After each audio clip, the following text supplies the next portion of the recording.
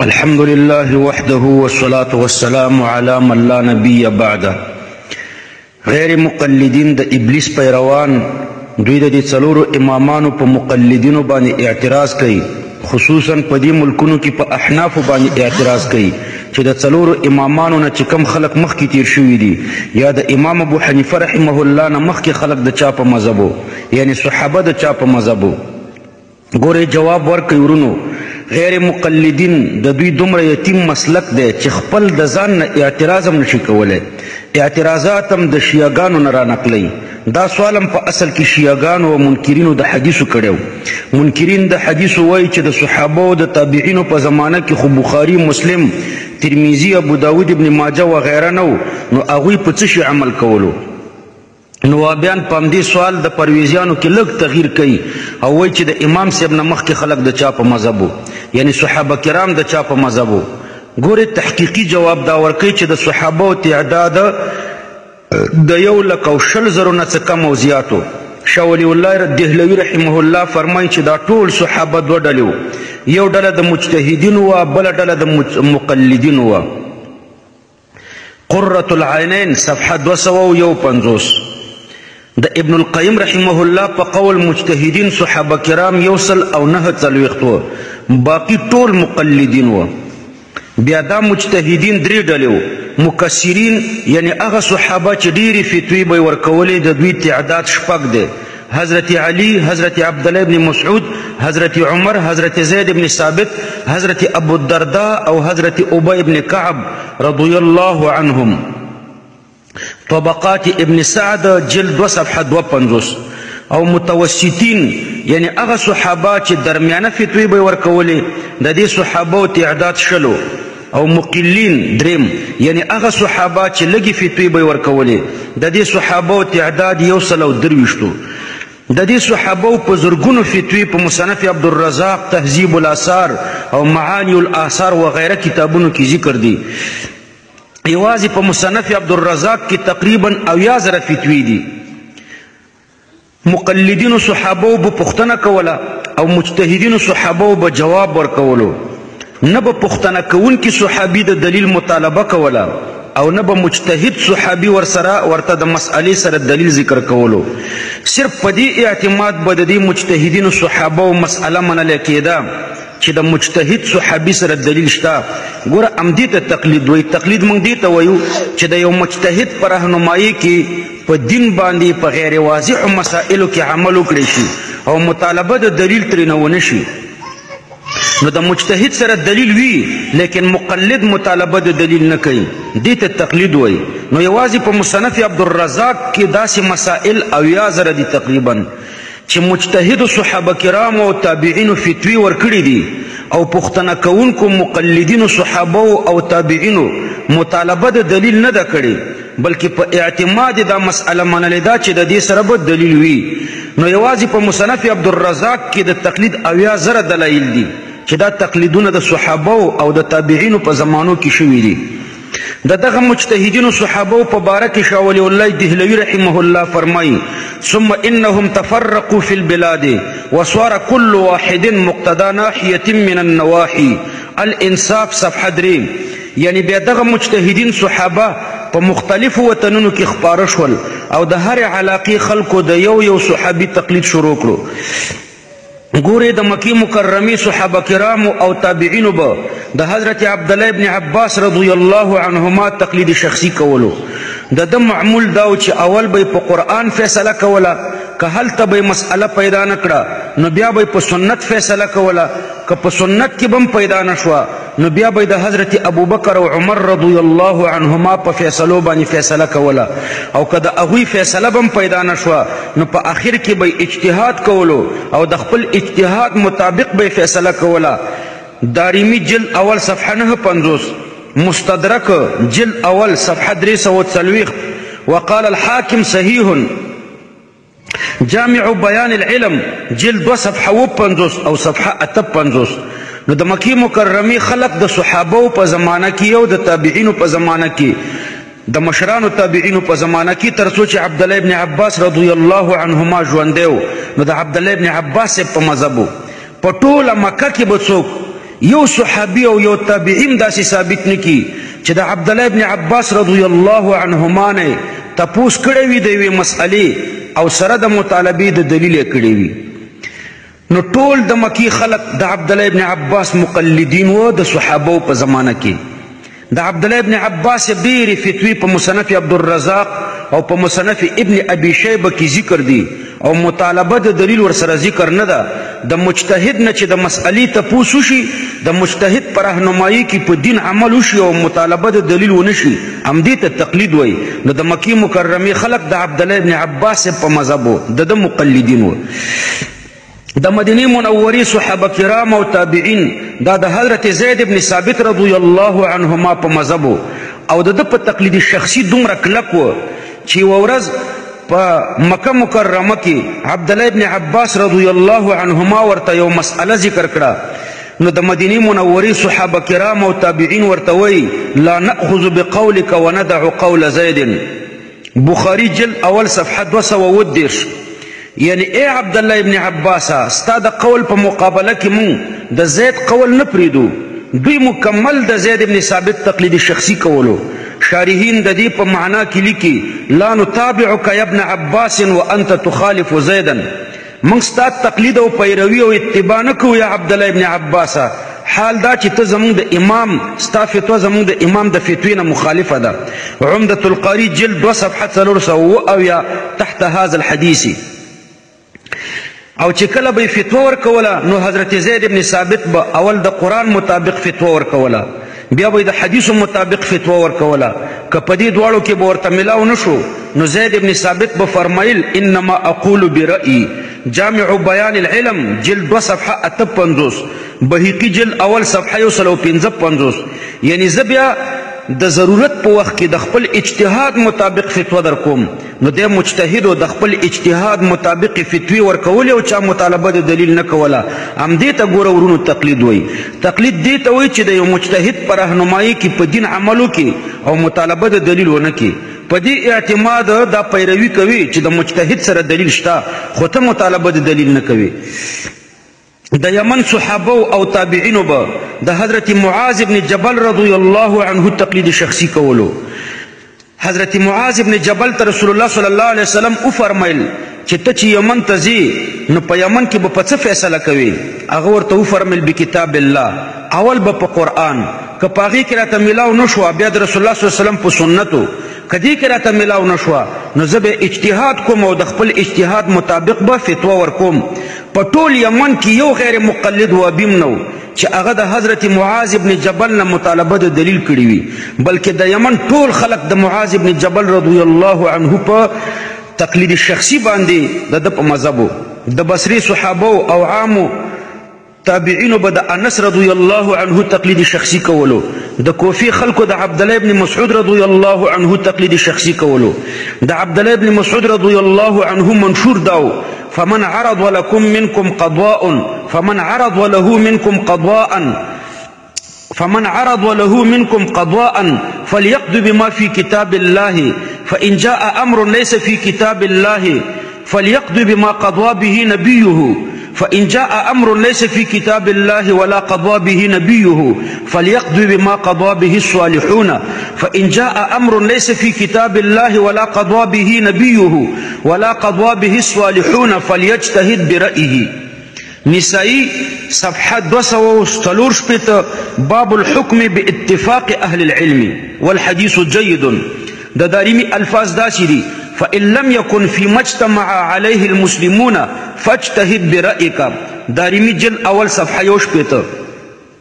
او دارنګي جامع بیان العلم جلد دو صفحه و پنځوس کې الفاظ داسې دي وعن ابن مسعود انه قال في غير ما مسأله اقول فيه برأيي یعنی اول فیصله په کتاب الله کوم نو د د کتاب الله فیصله د کوفی ټول خلکو منلې او مطالبه د دلیل نه کوله بیا په سنت رسول الله فیصله کوم د ده د سنت مطابق فیصلې د کوفې ټولو خلکو منلې، د دې مجتهد عبدالله ابن مسعود صاحب فیصلې منلې او مطالبه د دلیل چا نه کوله. بیا په اجماع د صحابه وویل، زه فیصلې کوم، که په دې کې پیدا نه شوه، بیا حکم او فیصله په خپل اجتهاد ده. نو د رسول الله صلی الله علیه وسلم نه وروسته د دغه صحابو تقلید کېدلو. د صحابو نه وروسته د تابعینو زمانه شوه، کبار تابعین، مشران تابعین. شاه ولي الله دهلوي رحمه الله فرمايي، فعند ذلك صار لكل عالم من التابعين مذهب على حياله فانتصب في كل بلد امام الانصاف صفحه شپږ یعنی هر تابعی عالم ځان ته مذهب جوړ کړو او په هر ښار کې یو یو تابعي عالم امام جوړ شو صدر الائمه مکی رحمه الله فرمایي چې ورځ حضرت عطا رحمه الله د خلیفه هشام ابن عبد الملک په خدمت کې حاضر شو خلیفه ترې نه پوښتنه وکړه چې ته د اسلامي ښارونو امامان پیژنې حضرت عطا ابن ابي رباح رحمه الله ورته فرمایي چې او ګوره د مدینه منورې د خلکو امام حضرت نافع دی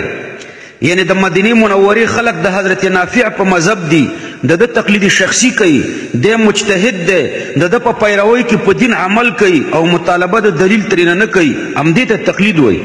د مکه مکرمه د خلکو امام حضرت عطا دی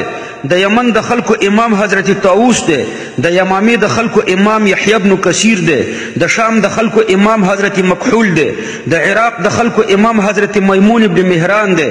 د خراسان د خلکو امام حضرت الضحاک بن مزاحم دی، د بصرې د خلکو امام حضرت حسن بصري دی او د کوفې د خلکو امام حضرت ابراهیم نخعي دی. مناقب موفق، جلد اول صفحه اووه، دا واقعه حاکم هم ذکر کړې ده په معرفت علوم الحدیث کې صفحه یو سل او اتن نوي نو د صحابه او د تابعینو په دور کې د دغه امامانو تقلید کېدو نو په هیڅ دور کې یعنی په تاریخ د اسلام کې داسې یو ورځ هم نه ده تیره شوې چې یو مسلمان دی پکې غیر مقلد تیر شوی ټول صحابه کرام چې څه مجتهدین وو او څه مقلدین وو دا رنګ ټول تابعین څه مجتهدین وو او څه مقلدین وو لهذا امام غزالی رحمه الله فرمائی چې په تقلید باندې د ټولو صحابو اجماع ده او د صحابو په دور کې دا په تواتر ثابتو المستصفى جلد 2 صفحه 315 اتیا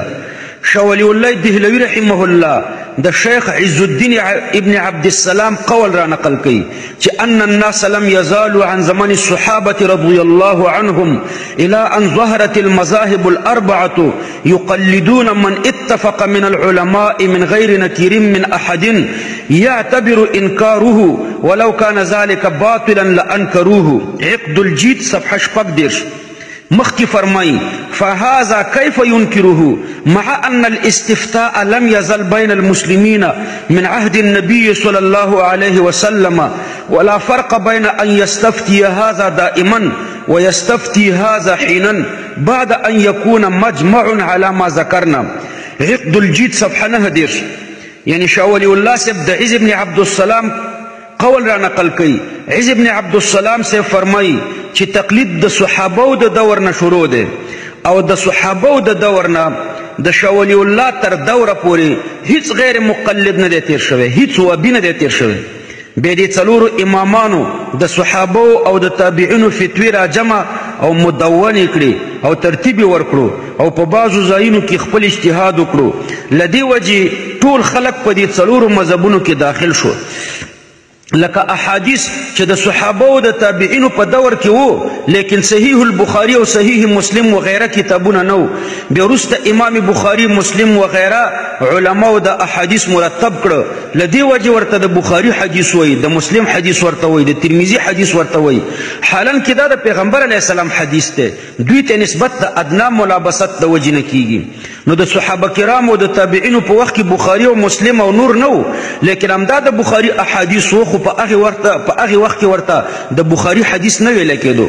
نو همدا شان د څلورو مذهبونو مسائل د صحابه په زمانه کې وو لیکن مرتب او مدون نه وو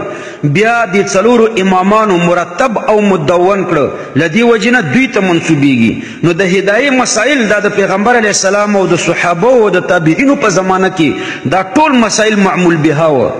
لیکن مرتب او مدون نو امام صاحب صرف تدوین او ترتیب ورکړو لہذا په بعضی ځایونو کې خپل اجتهاد وکړو نو اوس د ته منسوبېږي یو غټ دروغ د وابیانو درته ذکر کم لا مذهبان لیکي چې تقلیم تقلید په څلورمه صدۍ کې پیدا شوی دی غیر مقلدین د دوی په نن زمانه کې چې کوم مشر دی نیاز محمد کونړی عرف من الله پېښوری هغه لیکي وایي د تقلید د باطل ثابتېدو دپاره دا کافي ده چې دا د څلورمې صدۍ بدعت دی او په دلیل کې بیا د شاه ولی الله دهلوي قول پیش کوي چې اعلم ان الناس قبل المئه الرابعه غير مجمعين على التقليد الخاص لمذهب واحد التحقيق السديد صفحه يوصل او تليرش د شاه ولی الله سب قول په دلیل کې پیش کوي ما ته یو وبی ویلي چې تقلید خود څلورمې صدې پیداوار دی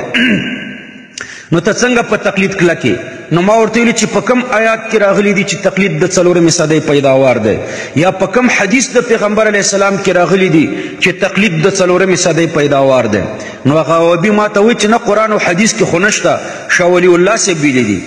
نو ما ورته ویلي چې د شاه ولي الله صاحب د تقلید اجازت تا ته چا درکړو تا خو مخکې خوله نه روشکېده چې اهل حدیث کې دو اصول اطیعوا الله و اطیعوا الرسول او اوس په دلیل کې د شاه ولی الله دهلوي رحمه الله قول پیش کې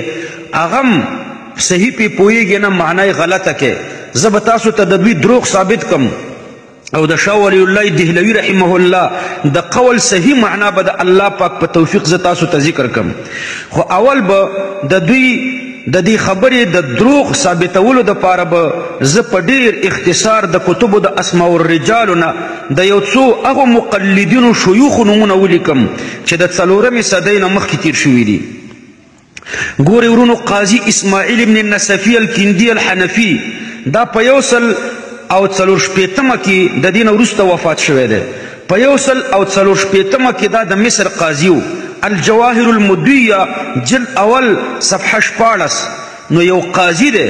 په دوهمه صدۍ کې دی او د مصر قاضي دی او دا د امام ابو حنیفه رحمه الله په مذهب دی نو لا مذهب خناسه خوله دې ماته شه چې ته وایې دا په څلورمه صدۍ کې پیدا شوی دا قاضي اسماعیل ابن النصفي په څومه صدۍ کې تیر شوی دی دویم مشهور امام دی امام لیس ابن سعد دا ډیر لوی محدث و تهذیب التهذیب جل اته کې د ده حالات ذکر شوي دي صفحه څلور سوه یو شپېته کې امام لیث ابن سعد دا د امام ابو حنیفه رحمه الله په مذهب و غټ امام او د امام صاحب په مذهب و غیر مقلد نواب صدیق حسن خان د ده په باره کې لیکي وای حنفي مذهب بود و قضای مصر داشت اتحاف صفحه دوه سوه او اووه دېرش دی حنفي مذهب و او د مصر قاضي و دا دومره لوی امام په دویمه صدۍ کې تیریږي او د امام ابو حنیفه رحمه الله په مذهب دی ستا سترګې ړندې دي دا کتابونه دې نه دي کتلي جاهلې او که تجاهل کوې ځان نه دې په زوره جاهل جوړ کړی دی د دې دپاره چې د مسلمانانو په مابین کې فتنه خپره کړي امام لیث ابن سعد د نظر ته نه راځي چې دا حنفي دی په دوهمه صدۍ کې تیر شوی دی او بیا مسلمانان ګمراه کوي او دوکه کوي چې تقلید په څلورمه صدۍ کې پیدا دی نو د څلورمې صدۍ نه مخکې امام لیث ابن سعد دا څنګه مقلد و دارنګې امام عبدالله ابن مبارک دا په یو سل او یو اتیا کې وفات شوی دی دا هم دویمه صدۍ وه د ده په باره کې راځي چې امام حافظ شیخ الاسلام تذکرة الحفاظ جل اول صفحه درې سوه درې پنځوس دی فرمایي چې ما سره د امام اعظم ابو حنیفه رحمه الله فقه ده تاریخ بغداد جلد دیارلس صفحه درې سوه پنځه پنځوس مناقب موفق جلد اول صفحه دوه سوه شپږ ویشت او صفحه یو سل او درې دېرش شرح الموتا جلد دوه صفحه درې سوه نو دی د امام صاحب په مذهب و دا د امام بخاري استاد دی په دویمه صدۍ کې تیر شوی دی نو لا مذهب خناسه جاهل په دې نه پوهېږي چې عبدالله ابن مبارک مقلد و په دویمه صدۍ کې تیر شوی او کنه تجاهل کوي ظاهره ده چې تجاهل کوي د ډالرو د هضمولو دپاره د ځان نه جاهل جوړ کړی دی مسلمانانو کې فتنه خپره څلورم امام وکیع ابن الجراح دا په دویمه صدۍ کې یو سل او نوي کې وفات شوی دی دا حنفي المذهب جامع بیان العلم جلد دوا صفحه یو سل او نه څلوېښت تذکره جلد اول صفحه دوه سوه او دوه اویا تهذیب التهذیب جلد یولس صفحه یو سل او اوویشت امام یحیی ابن سعید القطان رحمه الله دا په دویمه صدۍ کې تیر شوی دی یو سل او اتن نوي کې وفات شوی دی د حنفي المذهب او د احادیث لوی امام تذکرة الحفاظ جل اول صفحه 200 او 2 تهذیب جل لس صفحه 450 الجواهر المضیه جل 2 صفحه 209 تاریخ بغداد جل دیار لس صفحه څلور سوه څلور پنځوس دا د دویمې صدۍ د لوی محدث نوم مې درته ذکر کړو امام یحیی بن سعید القطان دا عوام هم د ده نوم اورېدلی دی ضرور به تا د ده نوم اورېدلی وي او په دې به پوه وي چې دا په دویمه صدۍ کې د امام صاحب په مذهب و لیکن بیا هم د مسلمانانو په مابین کې سره د علم نه فتنه خپروي نو داسې سړی خو د ده په اسلام کې خو زما بلکل شک دی دا بلکل مسلمان نه دی چې سره د علم نه غلطې فتوې ورکوي دا یقیني دوزخي دی شپږم امام یحیی ابن زکریا ابن ابي زاید دا د حدیث لوی امام دی په فن د اسماء رجالو کې د دنوم ډیر ذکر کیږي دا په یو سل او دو اتیا کې وفات شوی دی دویمه صدۍ کې تیر شوی دی او دا د امام صاحب په مذهب و تذکرة الحفاظ جلد اول صفحه دوه سوه شپږ څلوېښت مفتاح السعاده جلد دوه صفحه یو سل او نولس دارنګ امام یحیی ابن معین رحمه الله دا په دریمه صدۍ کې تیر شوی دی دوه سوه درې دېرش کې وفات شوی دی دا هم حنفي المذهب و فیض الباری جلد اول صفحه یو سل او نهه شپېته مقدمه د نصب الرایې صفحه دوه څلوېښت تاریخ بغداد جلد دیارلس صفحه درې سوه او اووه څلوېښت ګورې ورونو دا درې یحیاګان مې درته ذکر کړه یحیی ابن سعید القطان یحیی ابن زکریا ابن ابي زایده او یحیی ابن معین دا درې یحیاګان په اتفاق د ټولې دنیا د حدیث لوی امامان دي او د فن د اسماء الرجال اصول دي وهبیان مني شافعیان مني حنبلیان مني مالکیان مني د دنیا ټول مکتبه فکر د مسلمانانو ټول مني او دا درې واړه د امام صاحب په مذهب او دا درې واړه د څلورمې صدۍ نه مخکې تیر شوي دي دارنګ خلیفہ جعفر ابن معتصم الملقب بالمتوکل علی الله چې په سنه 246 کې وفات شوی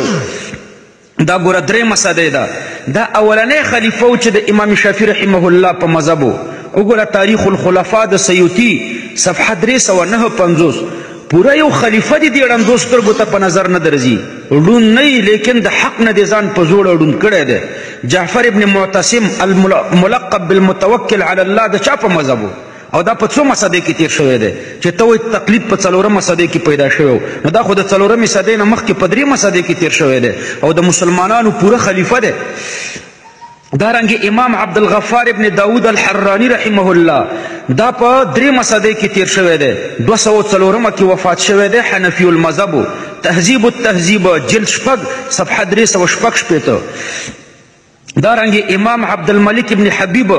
دا په دریمه صدۍ کې تیر شوی دی مالکی المذهب دوه سوه نهه دېرش کې وفات شوی دی تذکرة الحفاظ جلد دوه صفحه یو سل او امام اسماعیل القاضي رحمه الله دا په دوه سوه او دوه اتیا هجرۍ کې شیخ المالکیت بالعراق تذکرة الحفاظ جلد دوه صفحه یو سل او اتیا امام احمد ابن محمد ابن الاسرم رحمه الله دا په دوه سوه شپېته کې وفات شوی دی نو په درېیمه صدۍ کې تېر شوی دی حنبلي المذهب و تذکرة الحفاظ جلد دوه صفحه یو سل او پنځه دېرش الامام المیموني ابوالحسن احمد بن عبدالحمید رحمه الله المتوفا صفحه دوه سوه څلور اویا دا د امام محمد د کبارو شاګردانو نه تذکرة الحفاظ جلد دو صفحه یو سل او دوه شپېته یعنی د امام صاحب په مذهب دی او درې مذهبې کې تیر شوی دی دارنګ امام حرب ابن اسماعیل الکرمانی رحمه الله دا په درې مصدې کې 280 کې وفات شوی دی حنبلی المذهب تذکرة الحفاظ جلد 2 صفحه 1 او اویام دارنګه امام ابوبکر احمد ابن محمد المروزی رحمه الله دا په 215 اویا کې وفات شوی دی حنفی المذهب تذکرۃ الحفاظ جلد 2 صفحه 1 او 15 اتیا دارنګ امام بخاری رحمه الله دا په درې مسدې کې تیر شوی دی 200 او اویا کې وفات شوی دی او دا شافعی المذهب طبقات شافعیه جلد 2 صفحه یو تا صفحه 19 غیر مقلد د وابیانو سرګرو نواب صدیق حسن خان د د په باره کې لیکي چې د شافعي المذهب ابجد العلوم صفحه 810 امام بخاری په نظر نه درځي چې دا د څلورمې صدۍ نه مخکې مقلدو